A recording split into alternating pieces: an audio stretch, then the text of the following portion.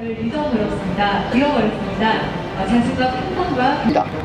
저희 국민 나라를 올바르게 이끌 그러면 우리는 시간이 지나 반드시 후회하게 될 것입니다.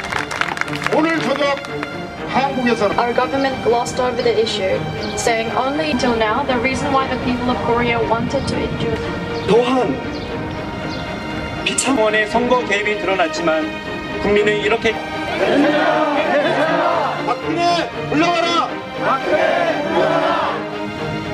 and trust that it would be for the people.